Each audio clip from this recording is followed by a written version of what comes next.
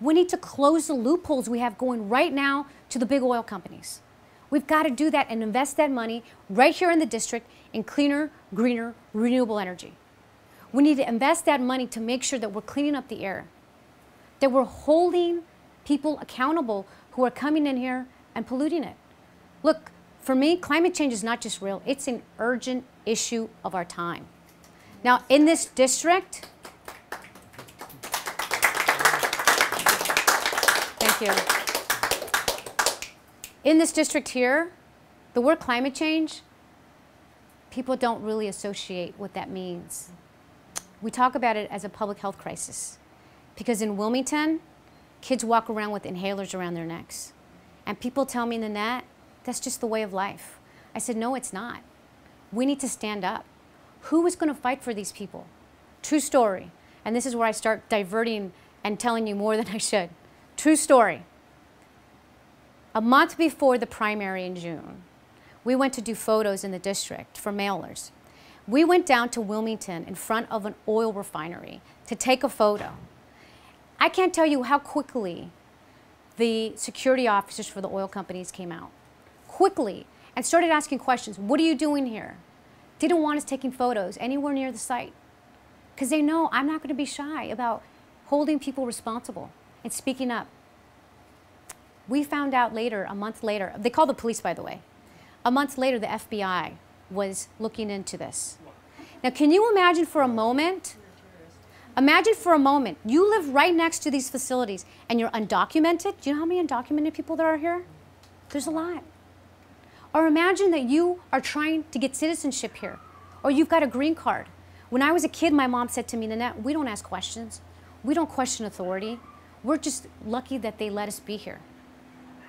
And that, for me, has always been like, no, mom, we have rights. We speak up. And that has always been really what's motivated me to make sure we're fighting for those who need a voice the most. But it shouldn't be a time, because it's, we've seen it more and more happen now, that the largest corporate donors are getting all the attention. You know, homelessness is a really big problem in the district. And in San Pedro, it's huge. I know firsthand, it wasn't like that before. The explosion has been just phenomenal. And we've seen it go into Compton. And we've seen it go across the city and in, into the district here. And we need to make sure we're taking care of our veterans. We need to make sure that we're investing in mental health services and making sure that there's affordable housing. People tell me right now they have Section 8 housing certificates, but they can't find a place either way. Right? These are issues that are so important. And people tell me, Nanette, you would never be, want to be on the Veterans Committee in Washington. I said, why is that? There's no money in that. Hmm. This is the problem. When you have people who are fighting instead to be on committees for dollars, when you don't have a lobby group that's spending enough money, people told me that about the environment. They said, Nanette, there's no money in the environment. You're on the wrong side of this issue. So what do you mean? Oh, you know, activists, maybe they'll come and walk, but they're not going to give you money. And that is the problem with politics today. So in me, you have a very stark difference. There couldn't be a bigger contrast. And I'm tell, I'll tell you, we're proud that the LA Times and the Daily Breeze both did their research. And they talked about making sure we had somebody who was principled, somebody who had a coherent vision for this district, somebody who wasn't just going to go and fight for the largest corporate donors, and it's not just the oil industry. Go look at the tobacco money this man gets. And this is a Democrat. Now, when I was a kid, a Democrat fought for democratic values. For me, that was a we're all in this together. We're helping each other. We're going to fight to protect Social Security and Medicare. We're going to fight for those who need a voice the most. That we're going to stand up to big dollars. It's different now. And in California, it's very hard for Republicans to get elected. So what you've seen happen is a split in the Democratic Party. You've seen more Democrats take money from oil money and tobacco money than ever before. I mean, think about this for a second. My opponent is the top recipient of oil money in Sacramento, more than Republicans. If that doesn't tell you something about the break in the Democratic Party and the differences in our values, I don't know what does. So education is huge. Protecting Social Security and Medicare, but not just that, we need to expand it. We need to expand it to include things like eye coverage, dental coverage, hearing aids. These are the issues of our day. And I could go on and on and talk about the school to prison pipeline that's happening right here in this district that nobody wants to talk about. African American kids are being taken out of school as a way for punishment when their white counterparts are not. And this is African American kids, number one, and Latino kids, number two. So in a district here, where only 60% are graduating from high school and 10% are going to college, we are creating this cycle. It's the school to prison pipeline, and we need to make sure we're talking about it and we're fighting up for our students right now. This is the civil rights issue of our era. Not to mention what we see happening right now, where you have unarmed people, black men, being killed on our streets. Police accountability is something that is not just something I talk about. This is something that I feel strongly about. Now, when I was on the city council, and you can ask uh, Mio here, I wasn't shy about making sure we were questioning our police departments. I am a big supporter of police because they are there to protect and serve. But we need police accountability. Absolutely, these, these incidences need to be investigated and there needs to be transparency. And that is something that is often lacking, where you, don't, you see videos that don't want to be released and we understand why. But there are so many issues and I can really go on and on and on and talk about them, but I don't. I want to make sure to leave an opportunity to keep this open for Q&A. Let me spend just a moment of time to tell you about the status of the race, okay? In the primary election, I was warned, Nanette, people are going to be put on the ballot that are meant to just dilute your vote. I said, what do you mean? Well, this is a practice they do in Compton a lot. Oh, women will be on the ballot. More Latinos will be on the ballot. So there's not a true, a true look at how the matchup is, is going. What we found happened was the people who came in second, third, fourth, and fifth place in the primary all had something in common.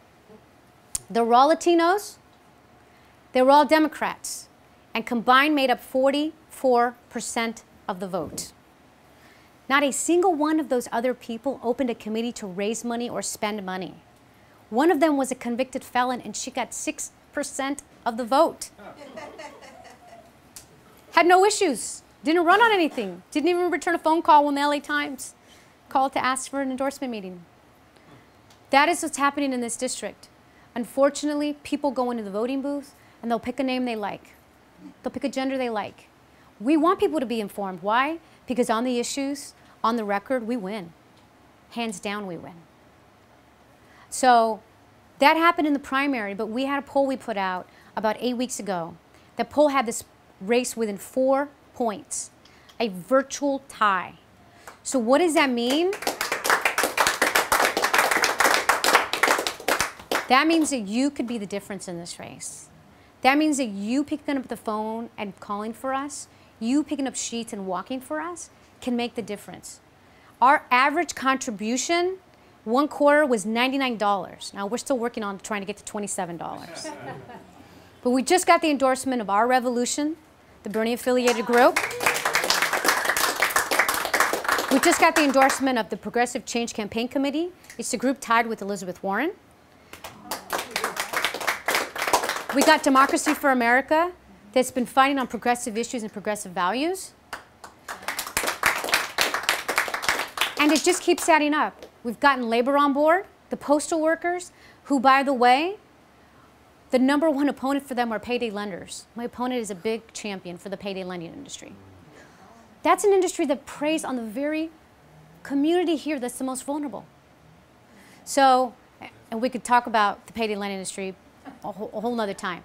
But right now, we are in a strong position to win this race. We have been working very hard. I get about five hours of sleep a night. We've been working hard. It's raising money. And don't get me wrong, you need money to win elections. This is why $27 at a time, that money adds up and it's helpful. So if you can help us with your time, please do. If you can help us with your dollars, please do. It doesn't have to be a lot. If you give $5, $10, in-district money is very hard to get. You're lucky if you can raise $20 out of Compton. That requires us to really go across the entire country. But we have people in Massachusetts, We have people in Florida, in Texas, San Francisco, who care about democratic values that are progressive. They care about those who are not taking the dirty money. And some people have said to me, oh, Nanette, you would take the oil money if you got it. I said, you know what? We've refunded money. We have refunded money as soon as I get whiff that this is dirty money, it's going back. Because we're going to do this with the power of the people, and we're going to do this how we're doing it now. And there are lots of people right now who are energized, and I need you on my team. I need you to put up a lawn sign. I need you to talk to your friends. So thank you so, so much. Ballots are going to drop, and that's the real election day. On October the 10th is when they get mailed out. Don't let anybody fool you. It's not November 8th. November 8th is the poll voter day, but the election really starts here on October the 10th. So please, there is a sense of urgency. You know, we got a handful of days before the first ballots really start to drop. Thank you so, so much for your time. Thank you so, so much. Appreciate it. Okay, I'll take this off now.